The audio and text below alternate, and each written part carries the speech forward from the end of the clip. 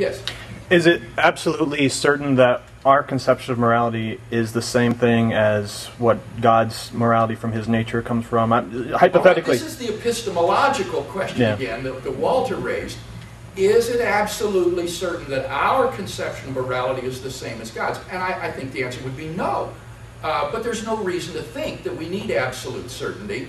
Uh, we are fallible beings, we are fallen beings, and therefore our moral perceptions may be terribly flawed in many cases.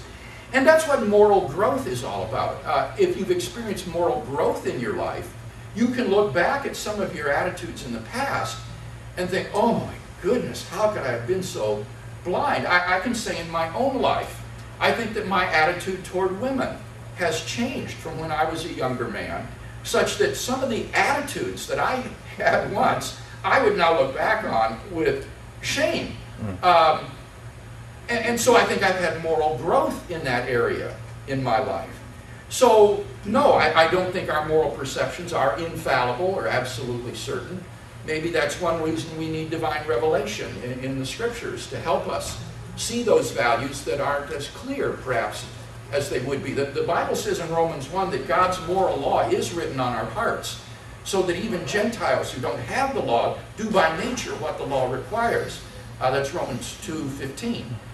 But nevertheless, we're fallen, we're fallible, we can go wrong, and uh, sometimes we may need additional divine revelation to see the right way. so uh, hypothetically, let's say that there was some revelation that God sent to us that said that in actuality His salvific plan intends for us to disobey the Ten Commandments. Uh-huh. Would it then be moral or immoral to like murder or Well, it, it would it would depend on whether or not, of course, it was a genuine revelation. Sure, Uh, obviously. In my view, our moral duties are uh, constituted by God's commands.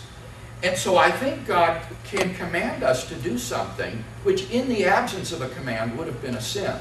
For example, God commanded Abraham to sacrifice his son Isaac.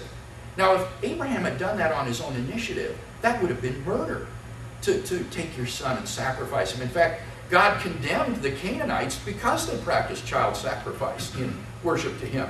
So if Abraham had done this on his own initiative, it would have been a horrid sin.